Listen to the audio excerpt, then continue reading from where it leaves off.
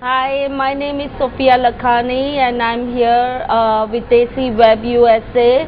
Uh, we are interviewing today uh, uh, renowned Jolly Mukherjee who is here in Tampa uh, for, for a concert. Uh, Jolly is here uh, uh, second time uh, within a year. Don't we love him? And we're going to hear more from him, his journey and everything. Tell us about your early childhood, how your journey began with uh, music, what were the challenges and how you overcame it. Well, um, it so happened that you know music was in my family. My father, uh, being an engineer, but he used to play uh, classical Indian music. Right? He used to play an instrument called sarod. Mm-hmm. Uh, it was just a hobby. So I have grown up in a lot of good music in my house, and uh, never thought that I would be a professional one day. But um, I was lucky enough that um I was very close to R.D. Burman from the age of 10. Mm-hmm. So I've practically grown with his guidance and his house, and I've seen everything that was happening. And it was there was no no chance that I, I would basically make into a professional musician or a singer. And um, I still remember that I was almost selected for British Airways, and I was supposed to mm, get a traffic assistant job on the airports and all. Mm-hmm. And then uh, उस वक्त बोला कि भाई I hope Hindi चलता है right right? बिल्कुल सब okay, चलता okay, है। हिंदी चलता है राइट right? मैं तो हाँ। पता चले हिंदी बोलता हूँ तो बोला ये कौन सा है कहाँ से आ गया यार? तो इट शो हैपन की वो वो कहे थे मुझे कि you will be having about six eight month India and after that they to post me to London so I was very happy but it so happen that no there was a shift of government I am talking of 1978, seven 78 times. Mm-hmm. And वो थोड़ा सा you know Indira Gandhi ji government fell down and you know other government came in and it was delayed for about seven eight month right so I I went and I was watching one film अगर उन दिनों आपको याद होगा this a film call Shalimar uh-huh. With Dharmendra Zeenat Aman like उसमें गाना बड़ा famous था लोग हम बेवफा हर yeah that one right That's right, that's right. तो उसकी उस फ़िल्म की बैकग्राउंड हो रहा था you know background music was being recorded और मैं ऐसे बैठा था and as R D Burman came and in the lunch break he just he to always treat me as a child छोटा सा देखा था मुझे Mhm. आठ दस साल का and as destiny would change the thing you know I never asked him and suddenly उस दिन मैंने पूछा उसको कि Pancham da I mean art is art his nickname is Pancham right? Panchamda तो Mhm. Pancham da I want talk to you क्या है मैंने ऐसे कि वेल ये जो आपके म्यूज़िक में जो कोरस गा रहे हैं ना Mhm. Backing Mhm. Vocalist Mhm. If you give me a chance I can sing the way they are singing Oh wow. So he asked my brother-in-law, he, he was a guitarist with him, says, uh, hey Bhanu, what's, what's he saying? "Oh, yeah, he plays the guitar. I, I could play the guitar, I learned the violin. Um, but nothing professionally. मेरा शौक है as a musician. But you never learned. I learned, professionally. I learned, uh, I learned the instrument to a certain extent, the guitar and the violin, but I couldn't reach up to the professional level of playing. Mhm. Mhm. So he said, yeah, he can. So he suddenly called uh, his guys and said, "Ki, make him a member, man. So they made me a member of the group singing, Senior Mhm. Singers Associ- Association. Mhm. And the first song I remember that I was singing backing vocal, uh, and the lead singer was Rafi Saab, That was in 1978. 78, Mhm. was uh, a film called Jail Yatra. Mhm. Jail Yatra बोल के film थी. The producer was Bhappi Soni. Uh, I'm giving you details, right? Because they see wants yeah, details, sure, right? of course. Tell me if you get bored. I'll cut it short, right? So the I, I have the I mean still the memory is that I had the first song as a backing vocalist uh, and the main singer was Muhammad Rafi Saab and Mhm. Bhupender Singh. Where there was a Qawwali. And uh, I thought चलो जब तक British Airways नहीं बुलाएगा we'll have some fun and make some money and you know जब बुलाएगा फिर चले जाऊँगा. Mhm. But as destiny would change, you know, it, it went on and on, and I started uh, getting interested in music. Then uh, I started learning myself, Mhm. and uh, whatever music music that I have learned in this, I owe it to my backing chorus singing, you know, because वहीं पे मैं मैं I mean everyone से सबको लगता है आजकल के बच्चों को कि कोरस सिंगिंग मतलब है ना इससे ज़्यादा रिस्पेक्ट है नहीं पता नहीं ऐसे करते। But there so much to learn in that because I I has to sing for every music director every day two two songs में be different genre of singing and different approach of music और उसमें कैसे arrangement होती है what is arrangement ये सारी चीज़ वहीं से Then you know to know to how to write music Yeah. आज the musicians over there every day तो ये सारी चीज वहाँ से धीरे धीरे धीरे धीरे I started getting interested and then I forgot about British Airways Did they ever call you? No, I mean, uh, I didn't respond, and, and the rest is history now. I mean, it's been Yeah, so many course. years of journey. Like it's almost Yeah. more than 30 years that I started back. You have worked with almost all big musicians. Who has inspired you the most and why? Well, no, no, no. I mean, I, R.D. Burman was my mentor. R.D. Burman was my guru, and subconsciously, I have always wanted to be somewhere 10%, 5% near to what he could do because I have been so close to him and I know कि mm, उस आदमी के अंदर क्या हुनर थे वो क्या कर सकता था how the compositions were made Mm-hmm. and um, so he was my main main guy Main, main inspiration. and another person that I would always say that these are the two gurus that I have. One is Adi Burman and one is Lakshmikant. Uh-huh. Lakshmikant Pyarelal. Uh, and I was actually, I'll tell you, I, I was like a baby. You know, like Kishore Da, Ravi Sahab, Asha Ji, Lata Ji, they were all uh, treating me as a baby. I mean, आठ साल की उम्र से वो लोग देखे हैं दस साल की उम्र से देखे हैं तो एक, एक हो जाता है ना and and and that's the reason that Panchamda is, used to always repent later on that uh, Lakshmi ji used to tell him you know he, hey Pancham but Jolly you say that he's your prodigy but I gave him the first break right my first film was Mhm, Dayavan yeah. and it was Lakshmikant Pyarelal right Mm -hmm. not Adi Burman So, mhm. तो उनको ऐसा हमेशा दुख होता था कि ना, हम बोलते हैं ना घर की मुर्गी दाल बराबर है ना Yeah, आप कितना भी अच्छा खाना बनाइए घर के लोगों को नहीं बोल सकते आप है ना? Yeah, बिल्कुल. है कि नहीं? जैसे आपने अभी पूछा कि हाउ डू आई लुक तो रोज आपको देखते हैं ना। Even if looking stunning it take lot of time because घर की मुर्गी हो जाता है ना। बिल्कुल या ये तो मेरे मियाँ से पूछना पड़ेगा। है ना? यहाँ से पूछना पड़ेगा। देखिए मैंने बोला ये घर के लोग होते हैं फिर बोलते नहीं जाता ना। तो आई ऑल्सो बिकम लगे घर का बच्चा। तो आर डी बर्मन का proudly to say that is my prodigy right and Laxmikant is always tell even if is your prodigy I give in the first break So that is it. So uh, you are a singer, composer, music arranger. You if you have to pick one, what would? It would be very difficult for me because whatever I have done, um, singing is definitely the way I have started my first career as a singer. And um, like I used to sing a lot of um, lot of advertising those days, you know. Yeah, you did some jingles also. Life of- boy. I mean, live boy बहुत जनों ने गाया है उसमें मैं भी गाया Mhm, तो मैं 22 सालों से गाता था mhm. तो and have have done at least more than two three hundred jingles में भी था और उसमें काफ़ी एक्सपीरियंस मिलता है ना that in 30 seconds you got to sing well in tune and express the product so there's a lot of learning process in that and uh, composition is a hobby मैंने कोई कोर्स नहीं किया composition का मगर मेरे अंदर एक talent मज़ा आता है मुझे.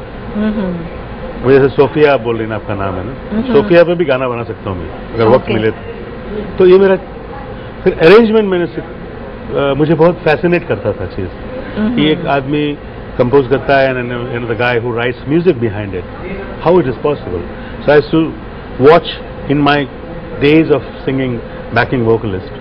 And I used to watch the arrangers how they do it and क्या क्या करते हैं and then I educated myself and then started doing myself. Mhm. अभी बात क्या है कि जैसे अरेंजमेंट क्या है कंपोजिशन क्या है ये काफ़ी लोगों को पता नहीं है Yeah, that's what I wanted to ask you. What is music arranger and uh, what it involves? जैसे देखिए जैसे समझो S D Burman sahab okay Uh huh. Great composer Mhm. तो गाइड के गाने बड़े अच्छे हैं ना. हैं? बिल्कुल. तेरे मेरे सपने अब एक रंग है। Mhm. हो जहाँ भी ले जाए राहें हम संग हैं। ठीक है ना? बिल्कुल। आप हंस क्यों रही हैं? बिकॉज़ आप इतना अच्छा गा रहे हैं। थैंक यू सो मच तो मैं ये बोल रहा था कि ये जो गाना है ये कंपोज किसने किया है? S D Burman hmm. Right पर उसके पीछे, अगर ऐसे जैसे होता है, हर संग है। जैसे म्यूज़िक गोइंग रा रा रा रा रा रा रा रा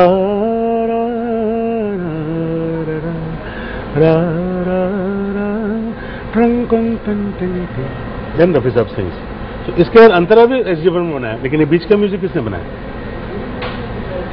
बीच का म्यूज़िक जिसने किया है he has arrange the whole music and compose that music which which S.D. Burman has not done it. Do you understand what I'm saying? Oh, okay. अब क्या होता है कि पूरा क्रेडिट म्यूज़िक डायरेक्टर को मिल जाता है क्योंकि लोगों को ये आइडिया नहीं है किसी ने बताया नहीं I would love to tell all the people to make them understand what it is. जैसे आर डी बर्मन ने कंपोज किया अनु मलिक ने कंपोज किया जतिन ललित ने कंपोज किया लेकिन उसके पीछे अगर आपको कोई म्यूज़िक पसंद है वो जतिन ललित या आर डी बर्मन नहीं किया only the words. that- words जहाँ पे वो गाते हैं दैट वो tune that- there so okay. That's the composer Okay. who composes the song Mhm. according to the lyrics Mm-hmm. An arranger's uh, job is to make a music which will blend well Connect. with the composition. Mm-hmm. Yes. Okay. Mm-hmm. ये दो चीज़ ये है तो an arranger is different, a composer is different. Mm-hmm. Uh, तो ये दो चीज़ uh, जैसे इस कंट्री में लोगों को समझने में भी टाइम लगेगा कि यहाँ पे क्या होता है बैंड होता है YouTube Yeah. U2. U2 is a band उस बैंड वाले ही लिखते हैं अपने लिरिक्स वो बैंड वाले ही अपना कंपोजिशन करते हैं वही अपना म्यूज़िक करते हैं वही गाते हैं। Mm-hmm. हमारे देश में ऐसा नहीं है। अभी तक लोगों को यहाँ पे लोग लगता है बच्चे कि अरे आप प्लेबैक सिंगर का क्या मतलब है? डोंट नो शाहरुख खान गा रहा है उनका आवाज़ किसी और का है। Mm-hmm. है ना? शाहरुख खान नाना पाटेकर तो वहाँ पर मेरा नाना पाटेकर मुँह हिला रहे है। लेकिन सर्दी खांसी ना मलेरिया हुआ ये मेरा यहाँ मूवी में सॉन्ग्स नहीं होते या नहीं सॉन्ग्स भी नहीं होते उनको वीडियो भी जो देखते हैं उधर वो माइकल जैक्सन का गाना माइकल जैक्सन का मुँह चल रहा है और उसी का आवाज़ है ना। यहाँ पे नाना पाटेकर का मुँह चल रहा है मेरा आवाज़ है। ऋषि कपूर चल रहा है मेरी आवाज़ है. तो this concept is also very different over here है ना. तो playback singing has been here अब धीरे धीरे जैसे टाइम बदलता जा रहा है people is, people are coming into pop music and Mm-hmm. album music so ये सारी चीज़ this is the difference between a composer a singer and arranger yeah um, आपका गाना बहुत ही मशहूर चांदनी और मेरी चांदनी। ओ हो कहाँ श्रीदेवी की याद दिला रहे हैं आप?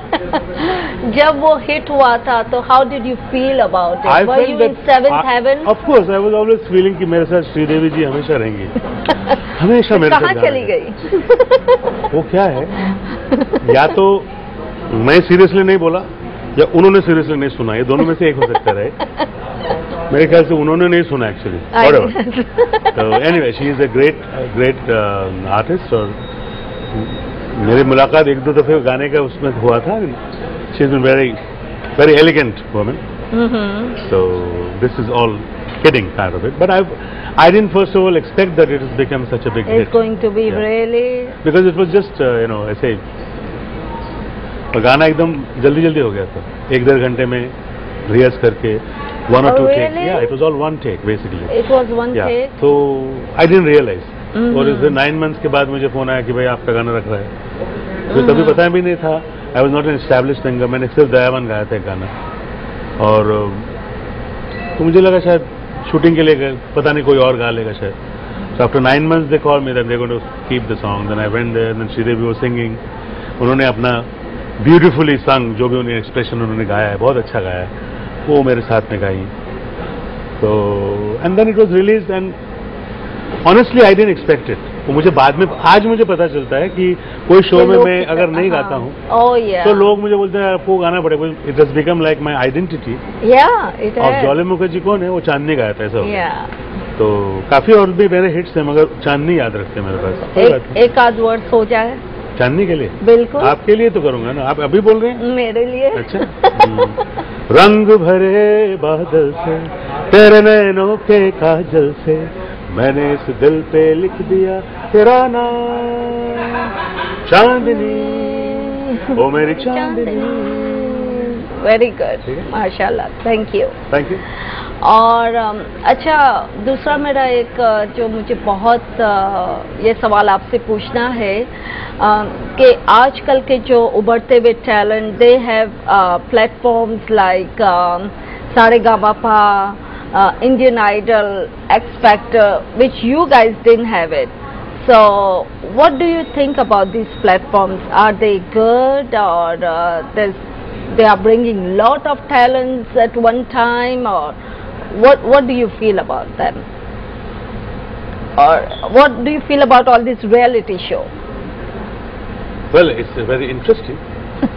I feel it's very interesting. That's why the whole world is. Uh, I mean, you're asking this question on what ground? I mean, uh, you want to know Is it, is it good to have these platforms for young talent Well, it's it's a great platform for every young talent because uh, they're getting exposure or chance to sing. I wouldn't use the word exposure because exposure is something which can which can create or which can kill. Mm-hmm. Okay? Mm-hmm. अब क्या हो जाता है जो मुझे लगता है कि बच्चों को यंग लड़कों को बहुत चांस मिल रहे हैं to come in front of television and धीरे धीरे धीरे ये चीज़ you know it started improving कि सिर्फ़ गाने में कुछ नहीं होता है so the performance is very Yeah. Important right Mm-hmm. So now everybody is trying to act like Shah Rukh or dance like Mhm. Prabhudev or do something while while singing. So धीरे धीरे क्या हो रहा है कि final जो आप लोग देखते हो it's very polished production right अभी इसके अंदर मैं जो आप कर रहा हूँ जहाँ जहाँ मैं फंबल हुआ हूँ आप उसको काट देंगे राइट एकदम पॉलिश देंगे ना Mm-hmm. तो वही चीज़ आपको मिल रहा है सो प्लेटफॉर्म में जो यंग लड़कियाँ बच्चे लोग जो गाते हैं वहाँ पर I would say say it's a great thing they have lot of confidence and they can come and sing one song live in front of so many people but to make or groom an artist that is what the reality show lacks according to me क्योंकि क्या हो जाता है देखिए अ, एक लड़का या लड़की जीत जाती है right? एक साल के बाद में जीत या जाती फिर हम उनको देखते नहीं है। है तो कभी उसके बाद छह महीना बहुत देखते हैं आप हाँ सारे लोग उनको काफ़ी पैसे से बुलाते हैं। हाँ। क्योंकि रोज आप टेलीविज़न देखते हो। और छह आठ महीने के बाद में और एक शो शुरू हो जाता है नया कोई दूसरा आ जाता है। है। तो उसको फिर भूल जाते हैं आप। तो ये कोई मेरे हिसाब से this is a bad point on that point कि अगर सिंगर को आपने जैसे अमेरिकन आइडल आज आज तो सारे हमारी चीज़ या अमेरिकन आइडल हो रहा है वहाँ पर इंडियन आइडल हो रहा है। यहाँ पर हु टू मिलियन हो रहा है वहाँ पे कौन बनेगा? एक ही चीज़ चल रहा है वहाँ पर। बट यहाँ पर एटलीस्ट वो लोग उसके एल्बम्स करते हैं। उसको they groom as an artist who is a winner right. तो अगर मुझे लगता है कि ये is a great platform for youngsters but it will be greater for them if the channels और whoever are going to project them further then that exercise of coming and winning a contest is going to make sense. If Any advice for young talent, upcoming talent, what that would be? Well, I would only advise every talented uh, because आजकल के बच्चे जैसे गा रहे हैं ना it's immense talent मतलब मैं खुद मुझे नहीं लगता मैं ऐसा गा सकता हूँ जैसे बच्चे गा रहे हैं they extremely talented I would only say that they should not get carried away by the glamour immediately Yeah. and if they practice well and they should only try to excel in what they want to do. तो नाम अपने आप आएगा आप it's it's it's very it's sad कि उनको you know फट से हो जाता है फिर शोज़ कर लेते हैं। तो छोटी सी उम्र में शुरू हाँ, हो जाते ऐसा नहीं हो तो मेरे हिसाब से अच्छा स्टडीज़ है। पे फोकस नहीं कर पाते हैं हर चीज़ में। तो अगर ट्रू आर्टिस्ट होना है तो थोड़ा वक्त लगेगा ना। बिल्कुल। हर चीज़ में वक्त लगता है है ना? बिल्कुल। So that's it thank you बंद कर दिया? देखो सब हाथ मिलाना कुछ पता चले मियाँ बोलेगा क्या क्यों हाथ मिला है. कोई प्रॉब्लम मैं नहीं मैं सोचा मैं सोचा मिलाऊं कि नहीं? मैं सोचा था मिलाऊं कि नहीं लेकिन I couldn't resist thank you so much